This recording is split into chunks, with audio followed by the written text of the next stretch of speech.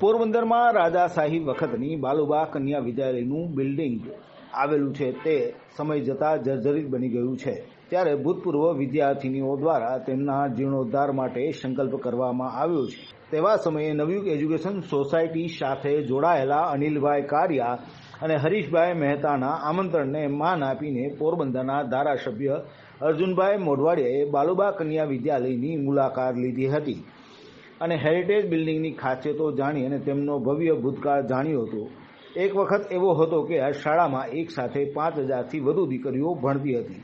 ત્યારે શું પરિસ્થિતિ હતી? ત્યારના શિક્ષકો પ્રિન્સિપાલ વગેરેની જાણકારી એલ્યુમની વિદ્યાર્થીનીઓ પાસેથી મેળવી હતી. તેમજ બાંધણીની વિશેષતાઓ જાણી આજ આજ અને કાલના ફેરફારો અંગેની ચર્ચાઓ પણ કરી હતી. ધારાસભ્ય અર્જુનભાઈ મોરવાડીએ ખૂબ જ ઝીણવટભર્યું મૂલ્યાંકન કર્યું હતું અને દરેક વાતની નોંધ લીધી હતી અને સૂચનો કર્યા હતા. ભૂતપૂર્વ વિદ્યાર્થીનીઓનો ઉત્સાહ વધાર્યો હતો.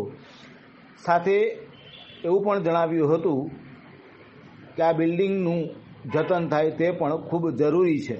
આ માટે ભૂતપૂર્વ વિદ્યાર્થીનીઓના પ્રયાસોને બિરદાવ્યા હતા. આ મુલાકાત દરમિયાન Anilbhai Kariya, Harishbhai Mehta, Nathabhai Gokani, doctor Siddharth Gokani, Durgaben Ladiwala, Nidhiben Shah, Bhavnaben Chhelawala, Seemaben Madlani doctor doctor રિતિકના Gokani વગેરે ઉપસ્થિત રહ્યા હતા. બ્યુરો રિપોર્ટ પોરબંદર ખબર.